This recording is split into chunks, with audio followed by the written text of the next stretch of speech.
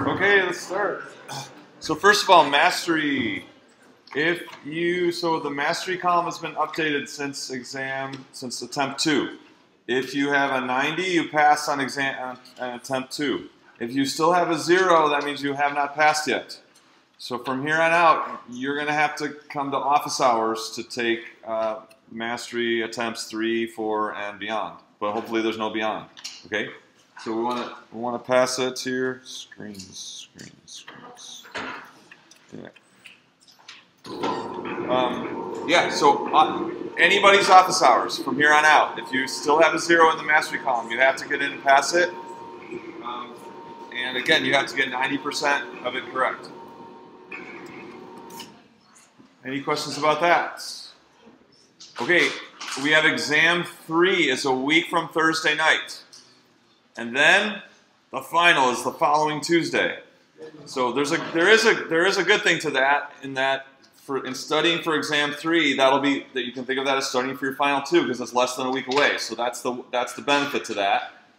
There's not there's we don't have a bunch of material in between. In fact, there's none. Right, that's the last day of class. So that's the good thing about that is you can study for exam three and the final simultaneously because we're we're less than a week out from the final. Yes. We are we are looking up the the campaign next game, right? Right. If you again, if you have the conflict, we'll we'll do the same procedure as last time, and we'll we'll figure out alternate time to take exam three. Watch for the email. Other questions? Yeah.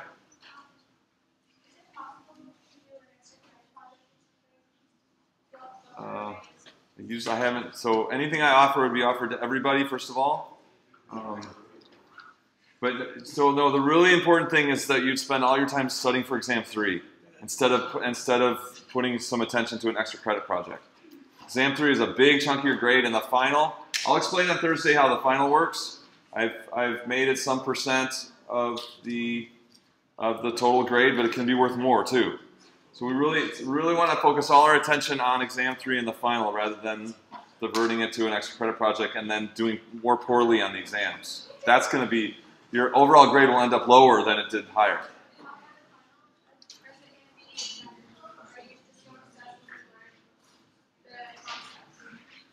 Uh, it's going to be both. It's going to be everything. It's going to be similar to the similar to the exams. It'll be conceptual and uh, solving problems. Yeah, problem solving. Okay, so I have uh, extended today today's WeBWorK till uh, so then you'll have you'll have two sets. You'll have a, this set and the new set due Monday at or Thursday at one. So um, and I gave three more attempts on all the problems. I just made it a total of eight attempts. Do three more on every problem, and uh, I want to do this one. I'm going to do number eleven. This had a pretty low success, and I want to do this one. And I want to. There's two ways to approach this. Um, and so I'm going to talk about both of those, but I want to take a, a trig approach. So we just at least talk about trig because trig is important. And lots of those questions have trig. It could be on the third exam and the final. All right, so a three a fence three feet tall runs parallel to a building at a distance of six feet from the building. Did I start this when I was wasn't even looking? Did I start the video and not remember? Did you see me start the video? Okay. It's nice. It's like a black period in my life already. All right. So uh, fence three feet tall, runs parallel to a building at a distance six feet from the building. What's the length of the shortest ladder that will reach from the ground over the fence of the wall to the building? Remember, we emphasized last week. Understand the situation. Don't just get into the mindset of okay, what do I do to get an answer? This is what this is the like the biggest problem we see that students have is they're immediately into all right, what am I going to do? How, do, how, how what steps will I take to get the answer to the problem? So forget about that and say I want to start by understanding what's going on, just getting a visual image, making a picture of it, and really understanding the quantities involved, what quantities are changing, how they change together. Remember we gave you that kind of protocol for this. Okay, so we've got a building.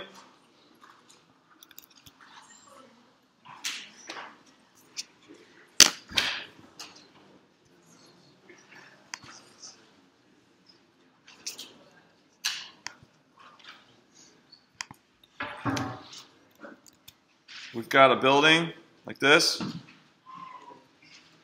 and then we have a fence that's what six feet from the building, and it's three feet tall. So maybe something like this. And so it, the, the, it runs in and out. It's parallel to the building, so that the fence is running like in and out of the screen.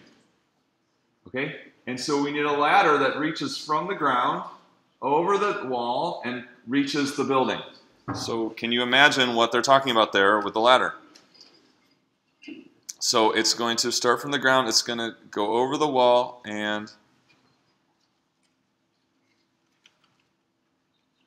so this is the idea of the ladder here. Okay, so what? So now let's talk about this. So we kind of understand the situation. We got to figure out what's the shortest what the shortest ladder that will reach from the ground over the over the fence and and make it to the building. So, all right, what quantities are involved? So let's brainstorm here. What quantities do we have involved in this? And again, by quantities, we don't mean just numbers, values. We mean uh, quantities like temperature, distance, velocity, volume, mass, weight. Those are what we mean by quantities. So what quantities are involved? It's just what's that? Height of the fence. Height of the fence. Constant or changing? Constant at three feet. So we have that that constant quantity. What else do we have? Distance to the building. What distance of what to the building? From the building to the wall. To the wall. Distance from the wall to the building. Constant or changing? Constant. So those were given as constants. All right, what else? What other quantities do we have involved here? Okay, he said the length of the ladder. So the length of the ladder, we'll call it capital L. Constant or changing? So why is it changing? We'll see that in a second, all right? And you said angle. What angle are you seeing? This angle right here? Okay, this is a, is that that angle measure is that constant or changing? Changing, right? Changing. Okay. Other potential quantities involved here. Yeah, sorry. Um, distance from the wall to the end of the ladder. Distance from the wall to the end of the ladder, So like where the ladder's touching the ground. Yeah. like this one. Yeah, or the yeah, from the building or the wall. Either one. Oh, you you choose. What, what did you say originally? Uh, I said from the wall, I said the wall. Okay. and then if you added the six, you get the building. Constant or changing? Another changing quantity in the situation. All right, so maybe we call that x or something like this. Anything else?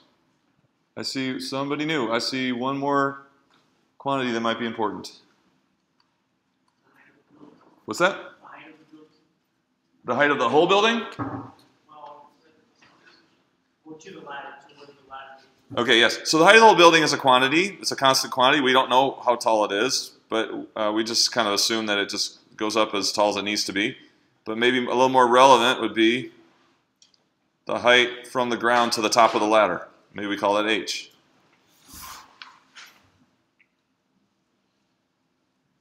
So how is it that we get different lengths of ladders at different angles? So can you so we so we need to imagine imagine the scenario for so what quantities are changing? The ones I made variables for?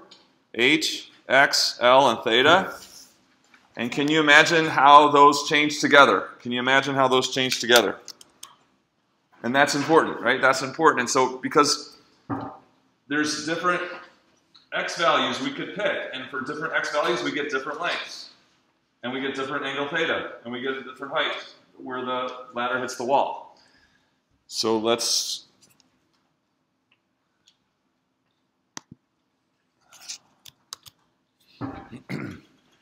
Okay, so so I got the wall here in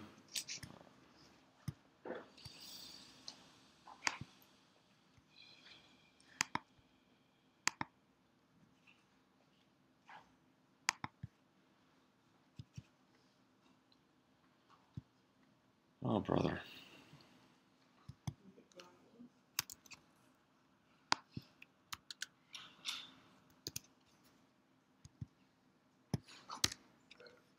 Okay, so here is if we uh, had a ladder that that touched the ground way, way out to the right, way, way, way out to the right.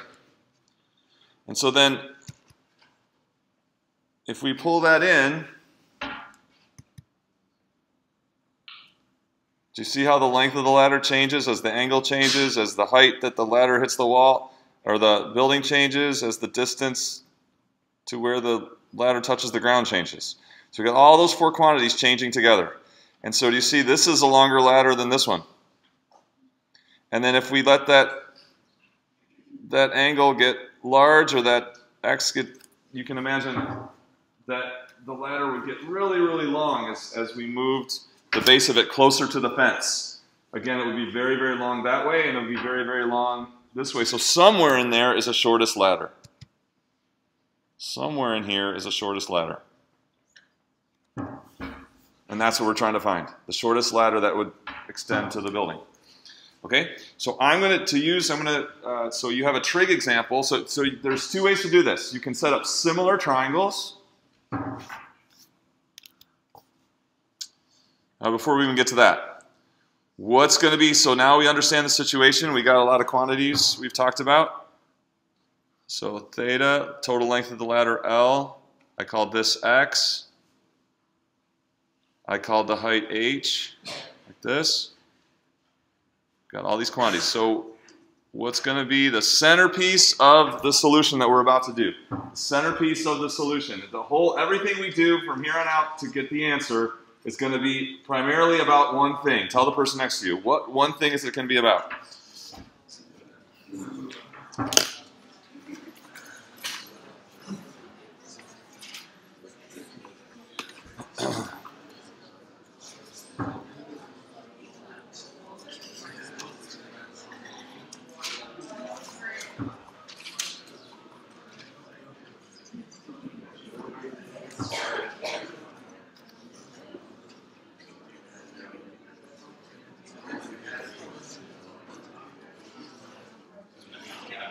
Okay.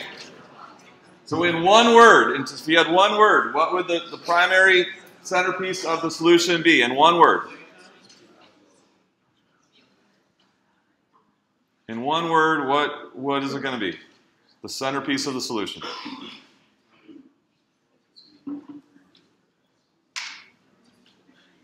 Please know this. Yes, please. Thank you. A function. That you should have been thinking. A function is the centerpiece of this. Now let's be more specific. What function is it? So what function, what about this function is important here? Cool. Nope, that's not the key feature of the function. What's the key feature of this function? I know that Levi knows. Trevor. What's that? How does the length of the ladder relate to that function? It's the yeah. The dependent variable, the output or the dependent variable of the function is length of the ladder. So we we need a length function. So I'll call it f. And I'm gonna so there's different ways to do this. You could make it a function of what I've shown x, but I'm gonna do it as theta so that we get some trig practice here. And we talk about trig a little bit because you have other ones that are trig. All right, so and this is going to be the length of the ladder.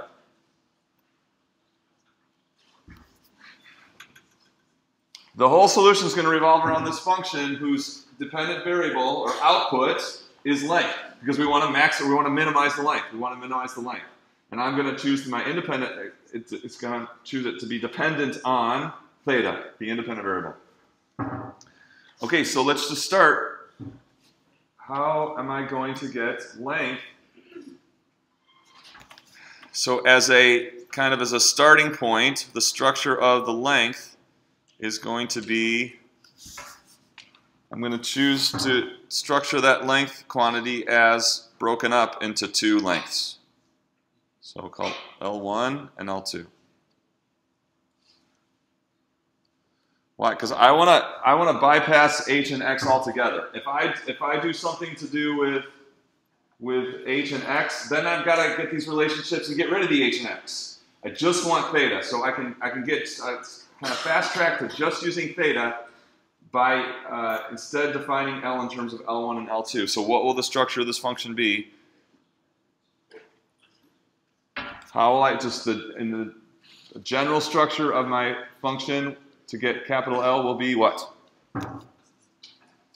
Now that I've broken it up into these two pieces, L equals L1 plus L2.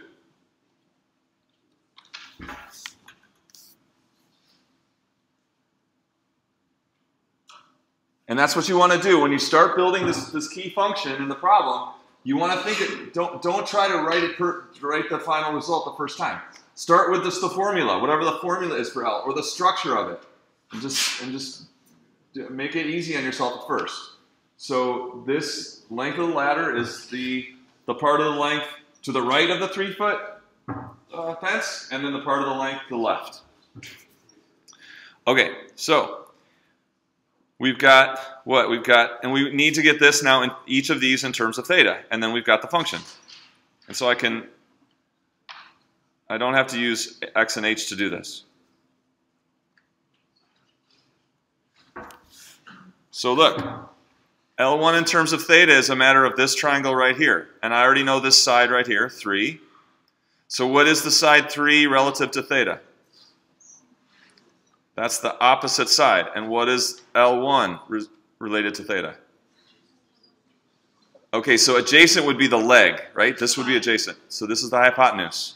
So what, which of your trig uh, functions brings together opposite, hypotenuse, and angle? You should know that sine. So sine is opposite over hypotenuse. Cosine is Uh, adjacent over hypotenuse. Tangent, opposite over adjacent. You're going to need these. What's that?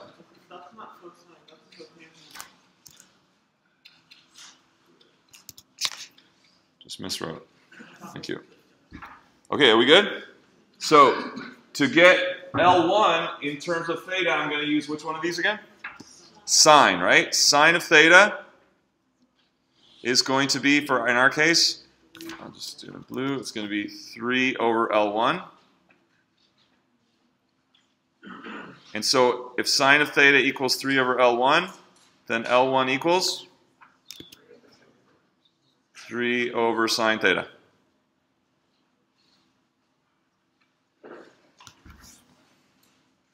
Okay, L2. So L2, then we can look at this triangle right here.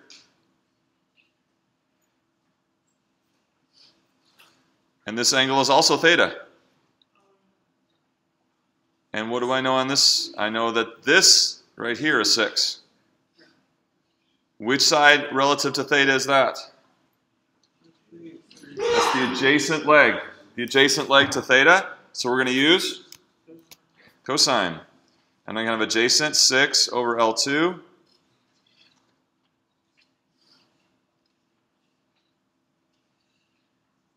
Is cosine theta, therefore L2 is?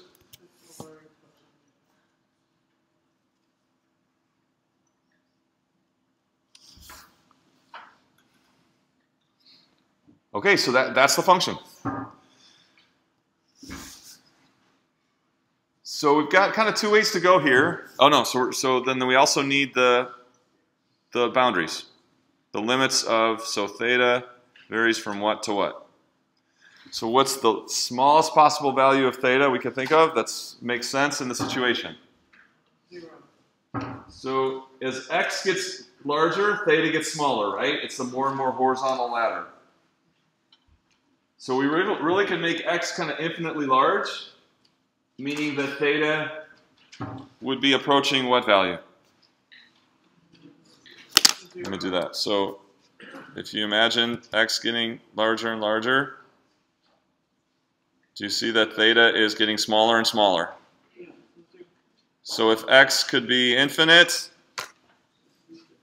theta would be 0.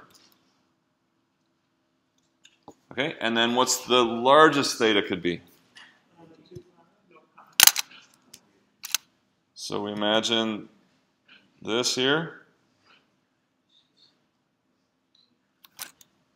And as that continues to get closer and closer, we might get a ladder that looks like this. For some reason I couldn't get GC to, to do this, but can you imagine the ladder being like that? So then what, there's our angle there. So what's the maximum theta could be? Is that pi? Pi over 2, right? Or 90. Now there's, so what did we say? We said that uh, maximums and minimums can occur at one of two places, right? Or there's, to, to get our list of possible candidates for max or min, we look at two different things. First thing we look at is endpoints, right? Endpoints. So in some of these, lots of these problems, the endpoints, we can see right away that they're not, it's not, what, what happens when theta is close to zero? What's the ladder like? You see that it's super long, right? And what happens when theta is close to pi over 2? Again, it's gonna it's gonna go way high, high, high up in the sky until it, it before it hits that building, right?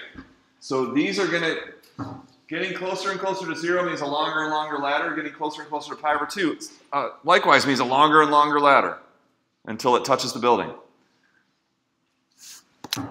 So we can we can reason that the, the endpoints here are giving us infinitely long ladders.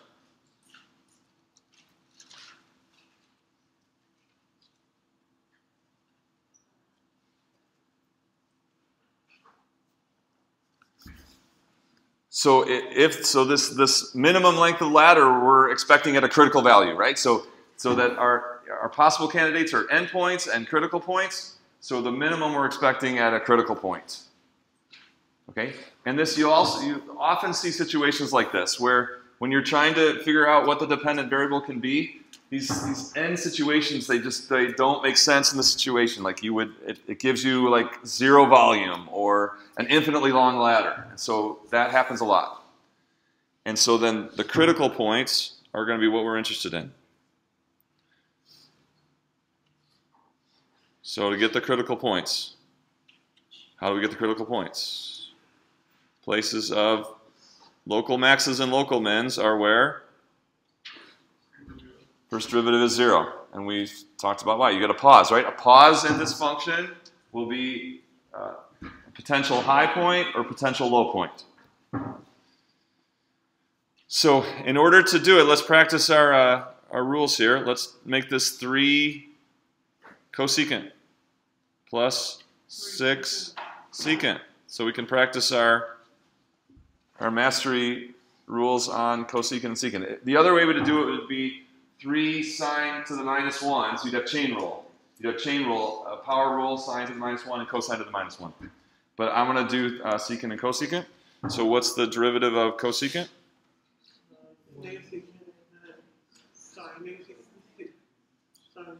O derivative masters. Uh, tangent, sorry. Uh, six, secant, tangent. Secant tangent, right? Remember? All right, so there's our first derivative. And we, we know we want to set that equal to 0. So now from this point, in order to, to solve this for 0, we want to change things back to sine and cosine. So it's a trade-off. Here we, here we just avoided chain rule. So if we wanted to go straight and keep it in sine and cosine the whole time, we would have had the chain rule, which is a little more work. So it's just a trade-off. But so we're, we want it to be 0, so 0 equals, so this is going to be negative 3 cosine over sine squared. And this is going to be 6 sine over cosine squared. By changing things back to sine and cosine. Zero equals or theta equals Uh, which? You tell me. What makes sense? Yeah, so theta doesn't equal f prime of theta, right? So I'm. So we, we're setting, we're taking the derivative and setting it equal to zero. Setting it equal to zero. Okay, and so then I'm going to move this to the other side. I'm going to add 3 cosine sine squared. And I'm going to uh, cross multiply. Can I do that all in the same step? So imagine adding this to both sides, moving it over, cross multiplying. I'm going to get 6 sine cubed equals 3 cosine cubed. Is it okay?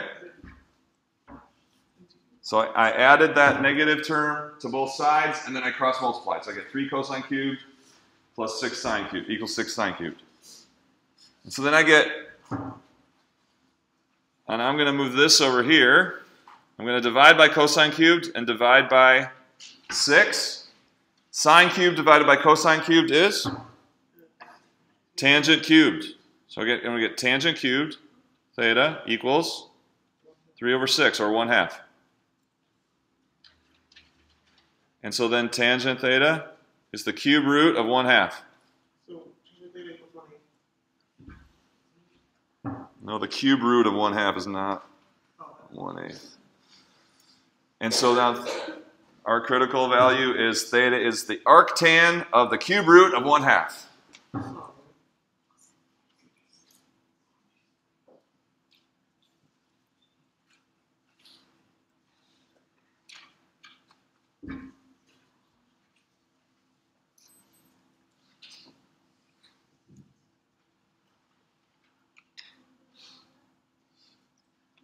So what is this? That's the angle that we want. Whatever number that is, let's let's put it in the graphing calculator and see what that number is. A tan of one half to the one third. 0.6709 radians.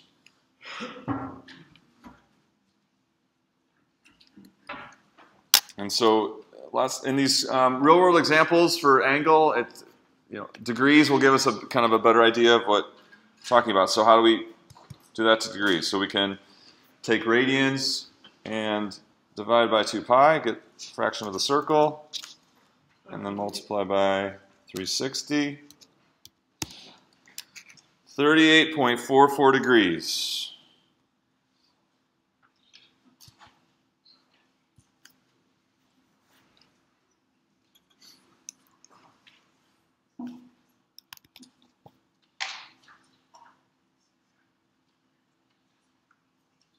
So we're expecting the angle 38.44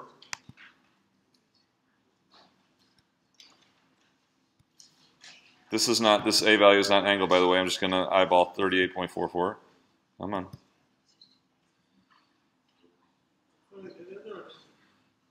So, I don't know, something like that. Is 38, some, some, somewhere around there, 38.44 is giving us the shortest ladder. How do we find the length of that ladder? So how do we, well, now we want to find the length of the shortest ladder. Okay? Remember, what is our, what is our solution all about? It's all about this function, whose input is theta and whose output is what? Length of the ladder. So we've got the critical value is going to be the input value that gives us the optimal value of output. Or in other words, will give us the shortest ladder. So we're going to do 3 over a sine of the angle plus 6 over cosine of the angle will give us the, the shortest ladder.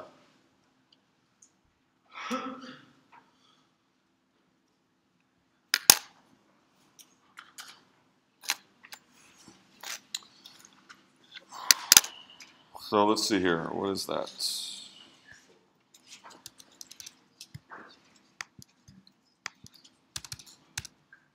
Let's just copy this. And we'll do uh, 3 divided by sine of that plus 6 divided by cosine of that. 12.48 feet.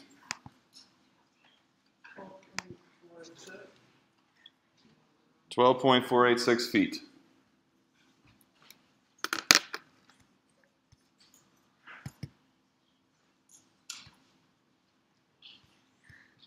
Anybody have a question?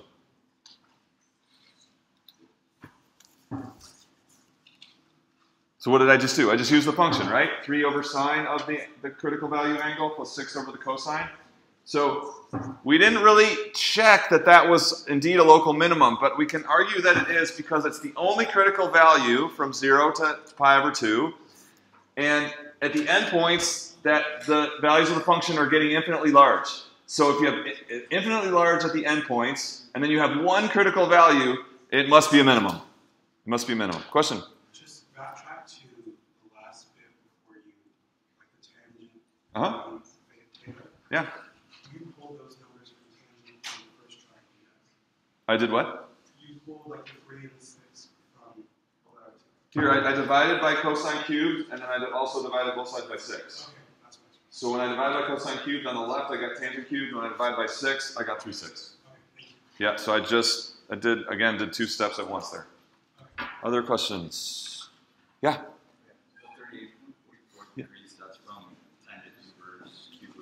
Yep, yep, that was, that's the tangent inverse of cube root of 1 half, uh, in degrees, in degrees, yep. Here, here it's, it's operating as uh, radians. It was like 0.67 radians or something like that, yeah. Other questions? Hopefully this helps for process and trig.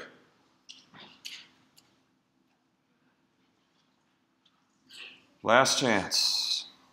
Okay.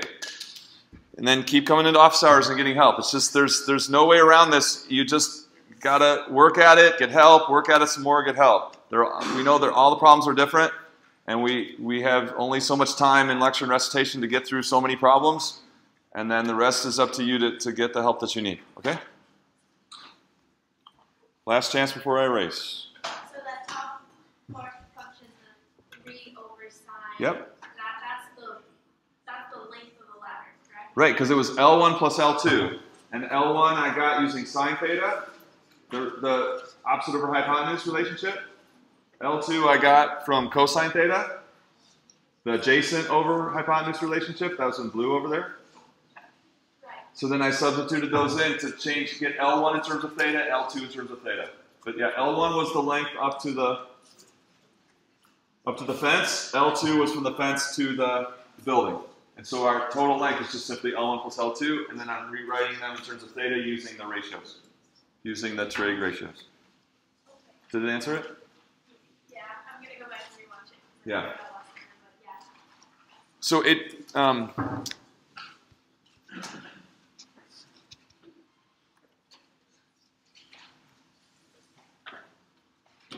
yeah, I, I kind of lost that. Uh, There's another question over here. So when we solve this, should we put in the radians, like the measurements, or is it alright if we put in degrees? Like, could we have just put In WeBWorK, if they ask for an angle in WeBWorK, it's gonna it's gonna want radians unless it says degrees. So if it doesn't specify in WeBWorK and it's asking for an angle measure, put in radians, and and always use radians unless it says you're you're using degrees. Yeah. What kind of silly a- asking this, but the, where you had the negative three cosine over sine squared plus six sine cosine squared. Right. How, what exactly did you do to just go from that to the next step? I added the negative fraction to the left, and I cross multiply. So imagine this on the left, positive. Then I'm going to do that times that equals that times that. So 3 cosines cubed equals 6 sine cubed. Right? So here, I'll just, I'll do it, right? So this is, this right here is the same thing as this. And then I cross multiplied.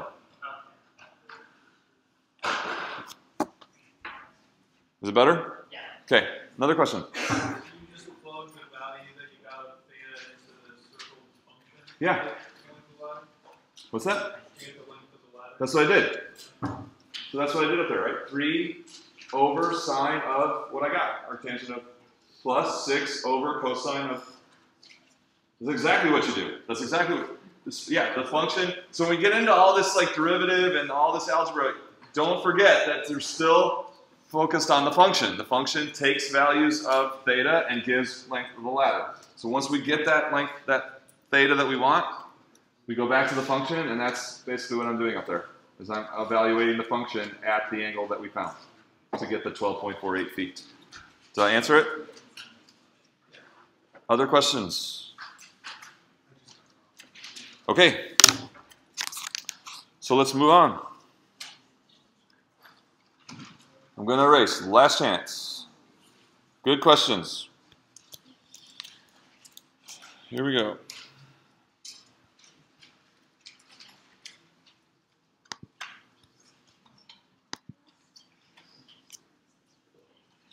Okay, so here's an equation and a curve. And so, a couple questions. First question is when you see that curve, when you see that curve, what are you looking at? What are you looking at when you see that curve? Tell the person next to you. What are you looking at? It's precisely what are you looking at in that graph when you look when you're looking at that curve? What are you looking at?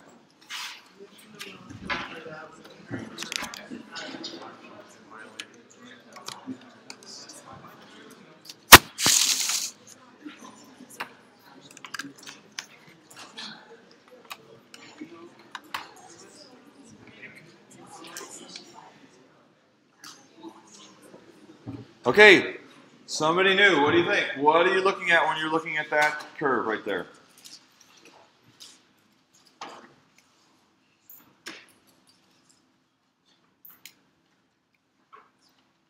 Jason, you're up.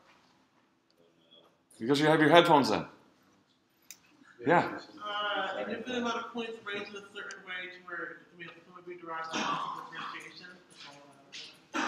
So yeah, so so it's it's a set of points. You're looking at an infinite number of points. All right. So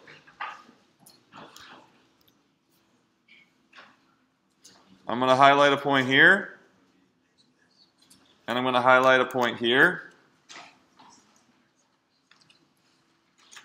And I want you to answer, talk to the person next to you. What's the difference between the blue point that I highlighted and the red point that I highlighted?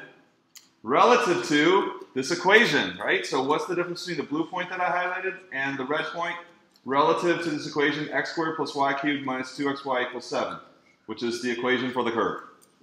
Okay, go. Tell the person next to you.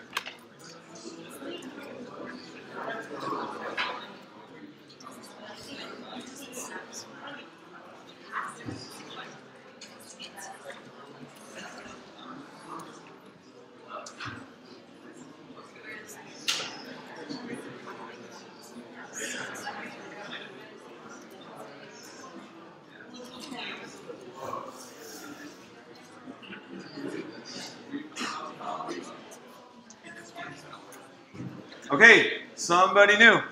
What's the difference between the blue point and the red point relative to the equation of the curve?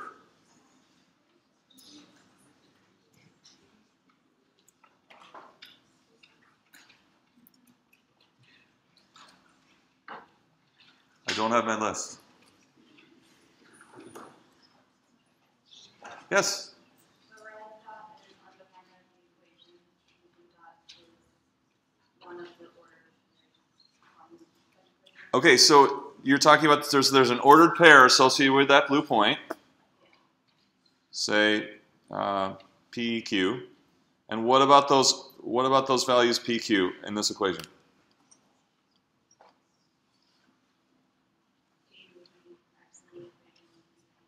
Okay, so if you put if you put P in for X and Q in for Y, what would happen? It would equal seven.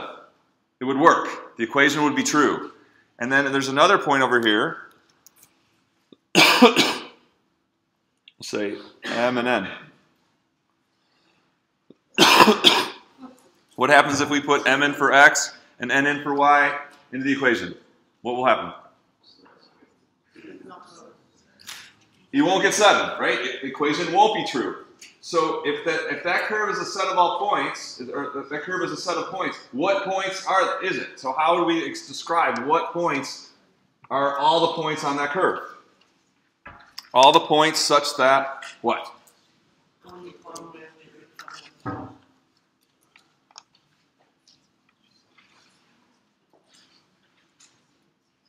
Somebody new. Adam, what do you think? All the points on the curve are all the points such that what? Yep, so all the points from the curve are all points such that What? Finish the sentence. Okay. Next one. What's your name? Jessica. Yeah, so any all the points such that if you plugged in the x and y coordinates of the points, it would equal that expression would equal 7. And then any points that aren't on the curve won't equal 7.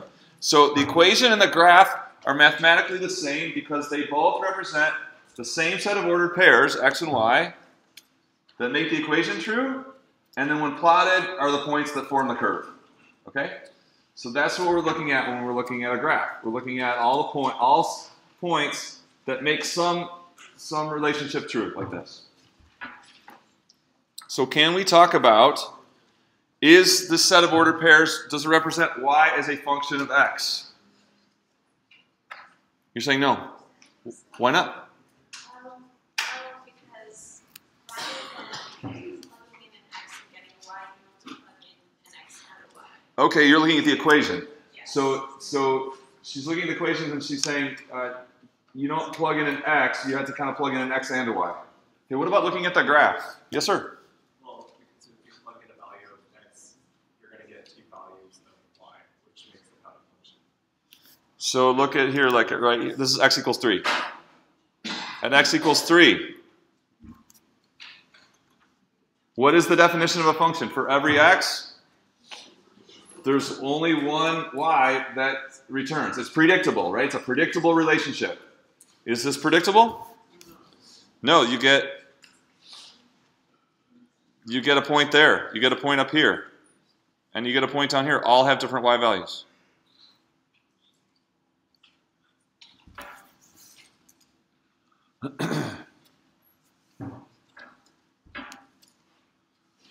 So, it is not y as a function of x, but is it valid to talk about the rate of change of y with respect to x? Is it valid to talk about the rate of change of y with respect to x? If y, y is not a function of x, but is it valid to talk about rate of change? Say right here. Is it valid to talk about rate of change right there? For a little change in x, is there a specific change in y? Right there.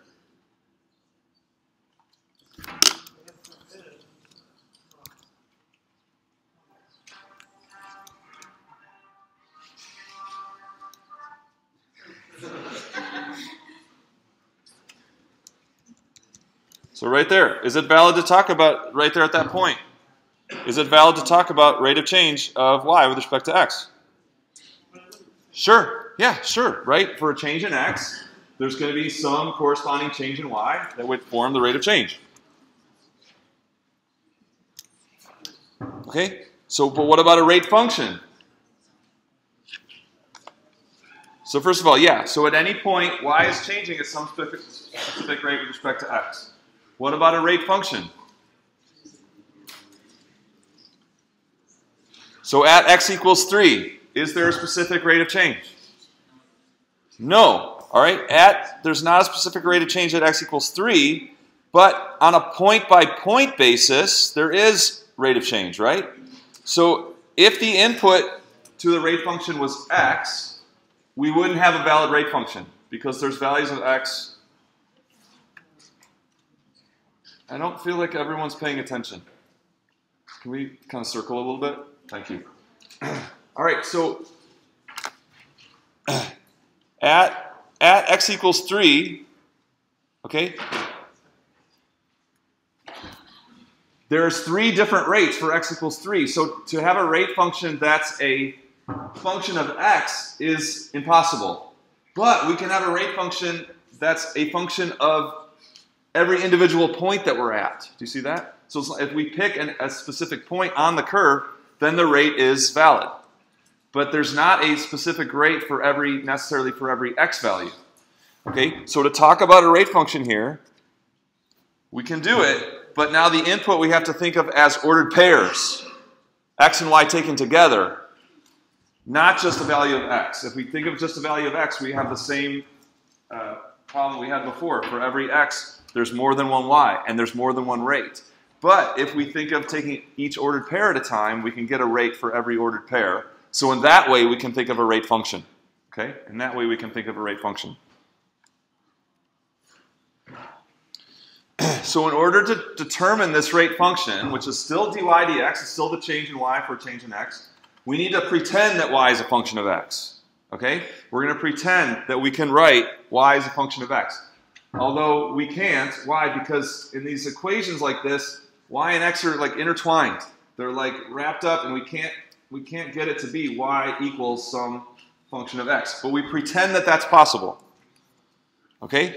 So in other words, y as a function of x is implied but doesn't necessarily exist. So there's this implication that we're going to have y as a function of x, but we kind of know that that would be impossible to really get the get that the true the function. But we're going to imply that it's there. And so then what we need to do to get the rate function is what's called implicit differentiation. Implicit differentiation is based on an implied y as a function of x when it doesn't really exist because x and y are tied together. So let's explain how we can get, our goal is the rate function for something like this, from an equation like that. All right, so we've got this equation. We're still going to follow all our same mastery rules. And so we're going to start by taking the derivative, uh, so thinking of y as a function of x, right? We said that's what we're, we're pretending that y is a function of x. So everywhere there's a y, we can think, okay, there's some there's some way to write y in terms of x. We're just that's what's implied. And now we're going to take the derivative of both sides. So we're going to take the derivative of the left side and the derivative of the right side. And so on the left, we have a derivative of a sum or difference. So derivative of a sum or difference is the derivative of the individual parts.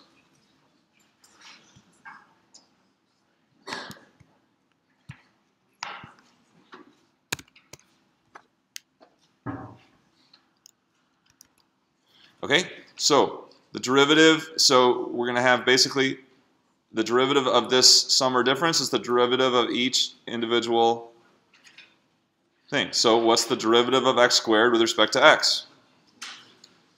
Really easy, right? Okay, so now what's the derivative of a function of x cubed? What rule applies if we have a function of x cubed? What rule do we have to use? Chain rule, right? It's going to be power rule 3, leave the inside the same, to the second times the rate of change of the inside. What's the rate of change of the inside? Well, we don't know what f of x is, so all we can write is f prime of x.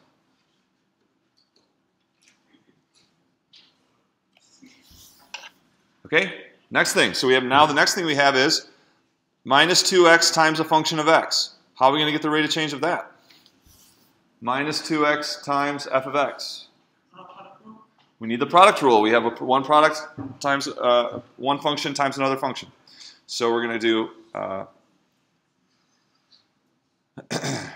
so I'm going to. I'll take as my first minus 2x and as my second f of x. So derivative of the first is negative 2 times the second as it is plus the first minus 2x times the derivative of the second, which is? Now that's just the left-hand side.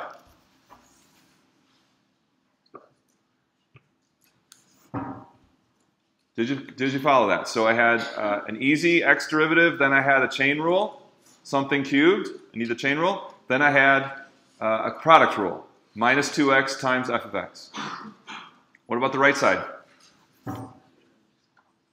Equals derivative of a constant. Zero. Okay, did you did you follow what we're doing here? So we're not, we're not going to ever write, we're not going to solve for y and write y as a function of x, but we pretend that it's true and we substitute f of x wherever there's a y. And then whenever we are uh, taking the derivative of f of x, we need the chain rule. We need the chain rule or product rule or whatever, whatever applies. Okay. So what are we after? We're after dy dx. what here in our equation now is dy dx? Where, where do we see dy dx in that equation? Yeah. So this is our dy dx.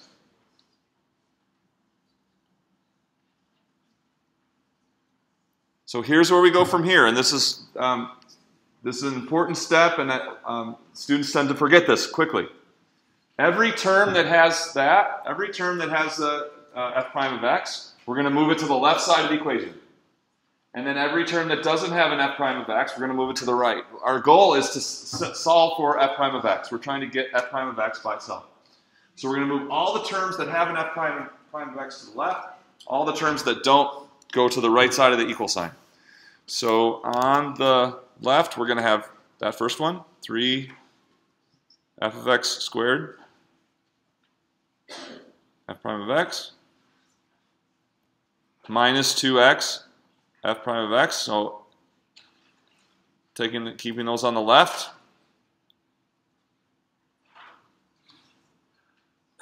Equals. And then everything else that doesn't have an f prime of x is going to go to the right. So we're going to have minus 2x.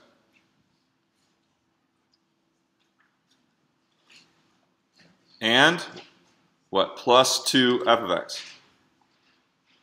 Did you catch that? I've got four terms. That one, that one, and then these two.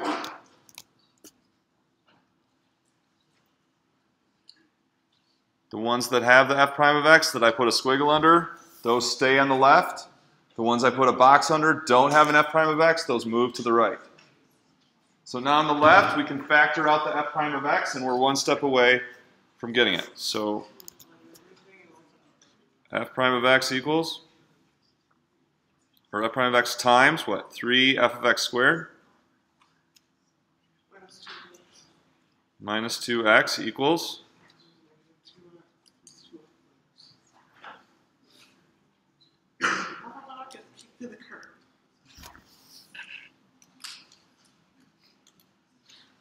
any, are you following it? Anybody have a question? We're one step away now. Our goal was to get the rate of change function.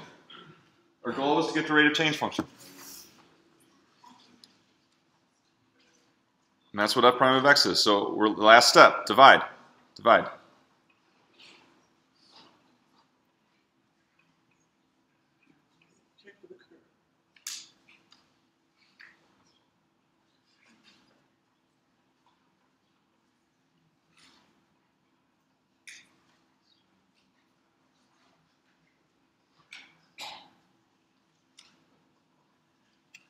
So what did we call, what was f of x again? So we said f of x was from the beginning. Why did we inject f of x into this?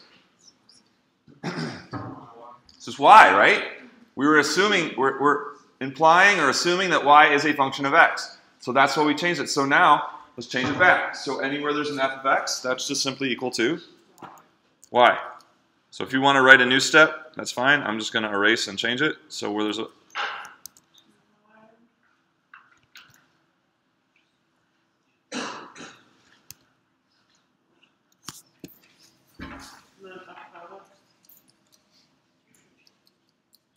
And if you want it, this is this is synonymous with dy dx, right?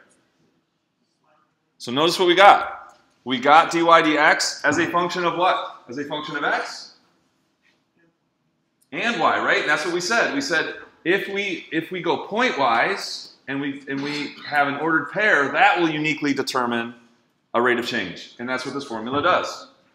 So now x equals three is not enough. If I put x equals three in here, well, it does not have enough information. So what we need is also, if we want to know what the rate of change is when x equals 3, well, which x equals 3 are you talking about? Are you talking about when x equals 3 at this point, or at this point, or at this point?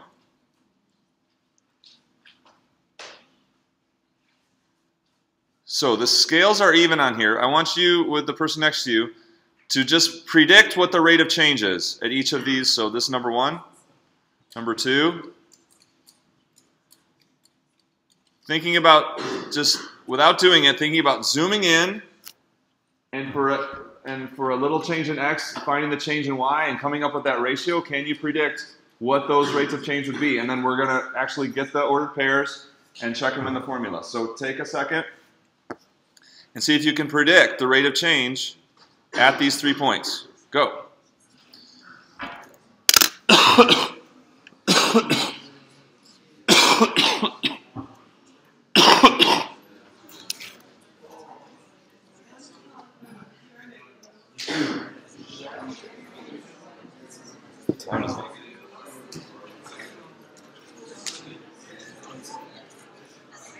Good.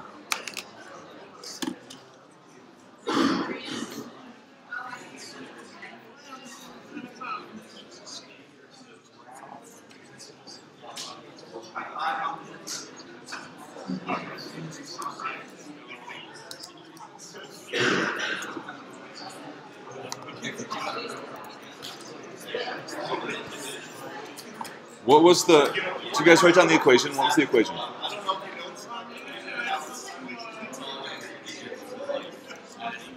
No, the, the function, the original equation. X squared plus what?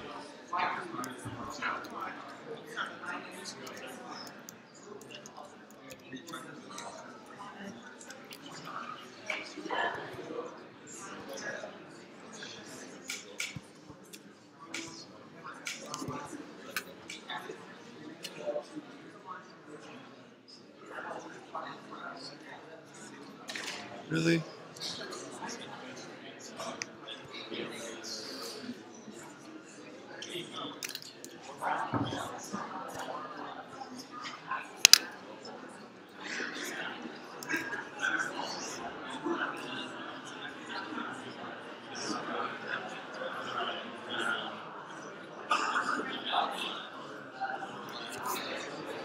Okay.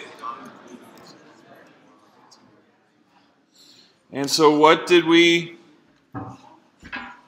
Uh, this is this first point. Predictions for the rate of change. Predictions for the rate of change here at this highest point where x equals 3. Anyone make a prediction for the rates? What's that? Okay, he said negative half. Any other possibilities? Negative a third. Is it negative or positive? They're both saying negative. Negative. Your change in y is negative for a positive change in x, right? And so, what do we think? So how can we do it? For, know it for sure? So what I'll do is I'm going to set up a function of two variables because that's truly what our rate function is. What did we get again? We got negative, was it negative 2x plus 2y? Was that the numerator? Divided by?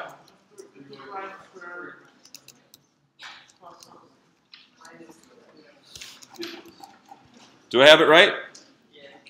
Okay, so then I'm going to use that function and I'm going to evaluate it at the point. 3, plugging it. So what would you do? You'd plug in 3 for x and two, the, the corresponding y value at that point we were looking at, 2.2618 for y.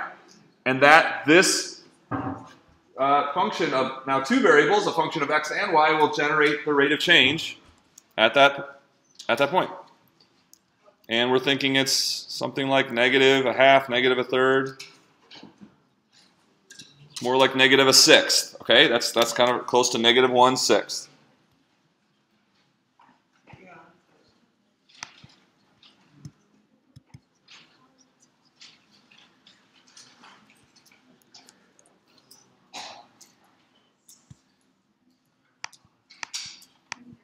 What does that mean? That the rate of change is negative one sixth. Tell the person next to you. What does it mean that the rate of change is negative one sixth? Go. Who knows?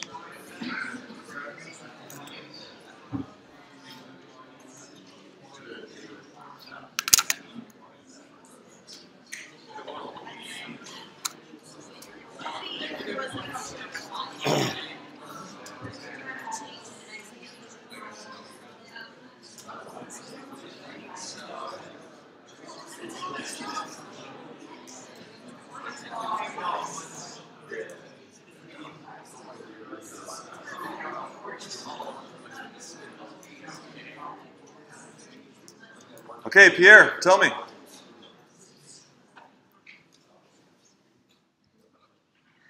Okay, because you're on your smartphone. All right, how about in the corner? What's your name? Yeah. Melissa, did you, what does the negative 1 6 mean for the rate of change?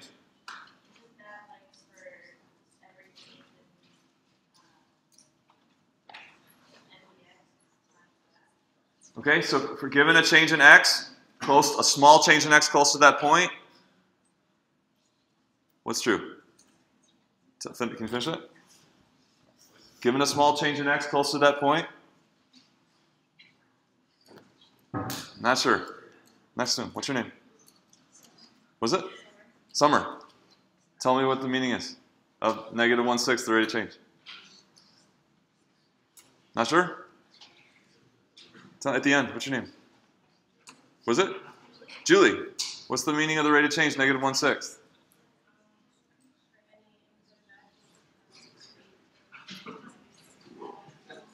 For any, that sounded like for any x value, the y value would be negative 1 6. Not quite. Yeah. Yep. Yeah, so she nailed it. So she said for any small change in x around 3, or around this point, the corresponding change in y would be this many times that change in x. Negative 1.58 or so, or so times the change in x is the change in y that you would get. So given a small change in x, this change in y would be negative 0.157, etc., 9 times that change in x. Rate of change, rate of change. Let's do one more.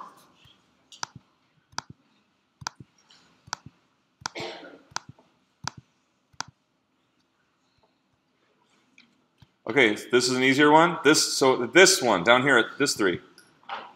What do you One. what do you estimate for the rate of change here? What do you estimate for the rate of change right there?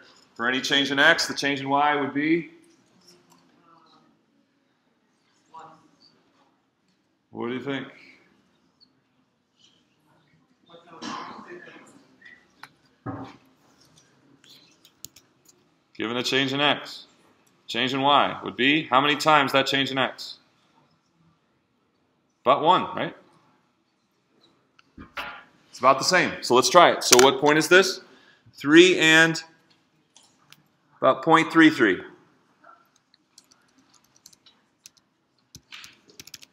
There it is. So when I put in that point, that ordered pair, 3 and 0.33, which is that order pair in the curve, I get a, a rate of change close to 1. Close to 1. So now for these these equations where you can't kind of you can't get y out and get y as a function of x, we need to use this implicit differentiation, and then our rate function then is becomes a function of both y and x. We need the, all the information about the point y and x to get the associated rate, not just x.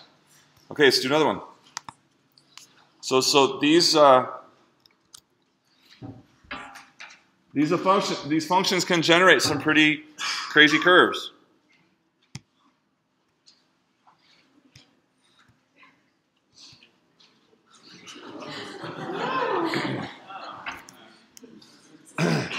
Okay, but the meaning is the same. So when you're looking at all these points that are on all these curves, what are all those points that you're looking at? Tell the person next to you. What you're looking at a bunch of points on the, they're on kind of isolated curves, but every single point on all those curves has something special about it. Tell the person next to you.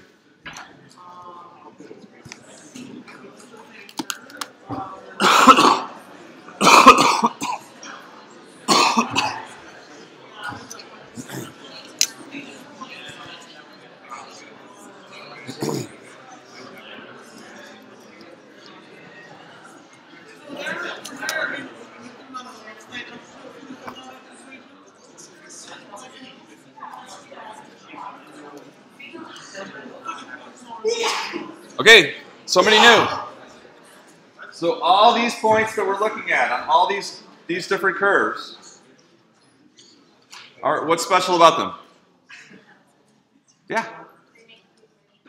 Yeah, so that each point, the x and y coordinate from each of those points that you're looking at, make that thing true. Okay?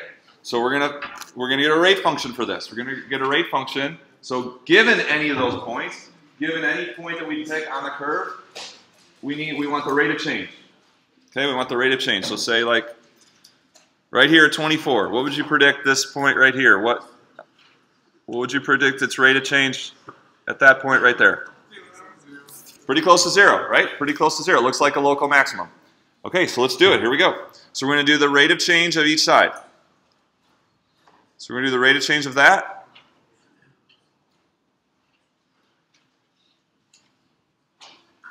And the rate of change of that.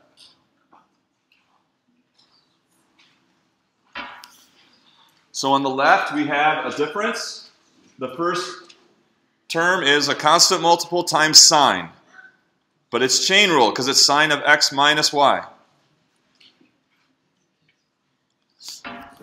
So rather than change all the y's to f of x's, which is a little more writing, we're just going to keep them as y's. And every time we have a y, we see it as a function of x. We, it's implied it's a function of x. We imagine it as a function of x. Okay? So we'll leave it as y. So what's the derivative of 75 sine x minus y? What's the derivative? It's going to be 75 cosine x minus y. Are we done? Chain rule, times rate of change to the inside, which is one 1 minus two y over dx. dy dx. And for, for ease sake, we'll call it y prime.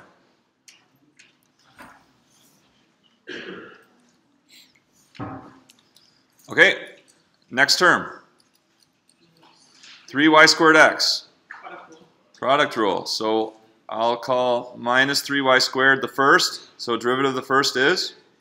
Uh, six y, uh, dy over dx. Remember, y is a function of x. So this is, when we do the derivative of the first, that's actually chain rule, right? Because it's 3 times a function of x squared. So it'll be 6y times Y, prime. Before, in the first example, we wrote that as 6 f of x times f prime x. we need the x in there, right? Okay, well that was just the derivative of the first. So derivative of the first times the second plus the first times the derivative of the second. Derivative of the second is just 1. So there's product rule on 3y squared x. Anytime you take a derivative of y, y is implied as a function of x, you need the chain rule. So that's why we did the y, 6y times y prime. Okay, other side. Derivative of e to the xy. Derivative of e to the something is e to the something now times the product rule of this, right? Times the product rule of x times y. Derivative of the first times the second plus the first times the derivative of the second. That would have fit up there.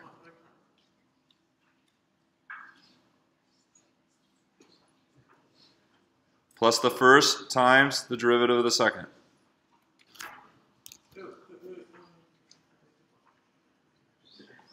Plus the derivative of minus 67, which is? Zero. Questions on this first step? Apply, we're applying the rules as before. Whenever you have a y, you think of it as a function of x and use the chain rule whenever you take the derivative of that. So how many terms do we have? So over here, we end up with e to the xy times y plus e to the xy xy prime.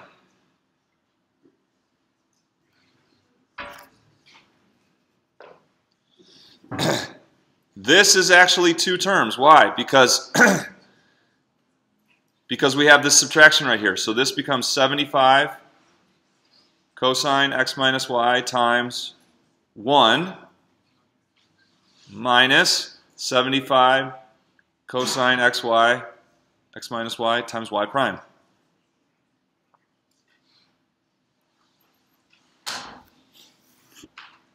So how many total terms do we have? So when we get these really ugly, nasty ones, you've got to see how many separate terms you have.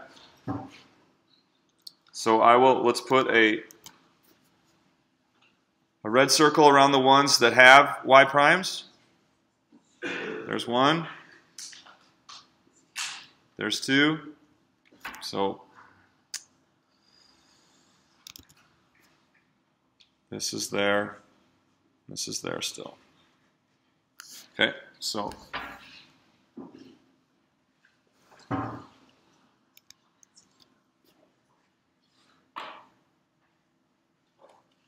and this one. So these are the three that have a y prime. Those three terms. The rest do not. This one, this one, and this one. So the ones I've circled red, they have a y prime or a uh, dy dx. They're going to go to the left side. They're going to go all to the left side. All the ones that don't have a y prime, blue, going to go to the right side because we're trying to solve for y prime. We want we want to get the rate function. So here we go. So we're going to have 75 on the left, all the ones that have a y prime.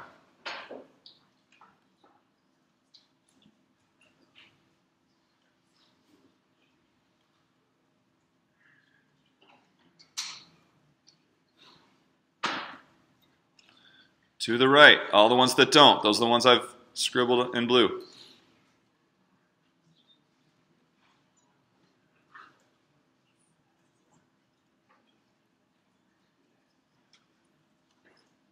Check my math. Check my math, please.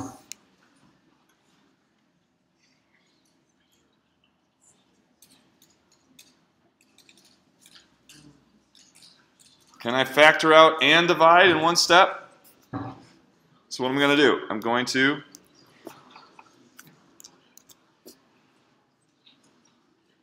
These all have a y prime. So I'm going to factor out the y prime. And then imagine that I have these terms without the y prime, and then whatever's in parentheses is going to get divided on this side. So the numerator will be 75 cosine x minus y plus 3y squared plus e to the xyy all over what's left on the left what remains in the left after I factor out the y prime. So it's negative 75 cosine x minus y minus 6yx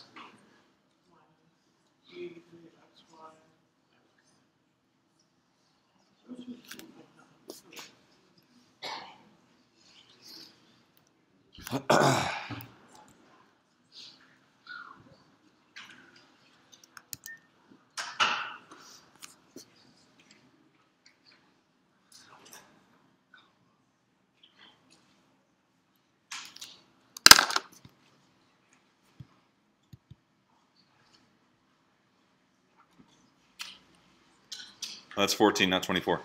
All right, so here's the point 14. Point three, four, six, seven, something.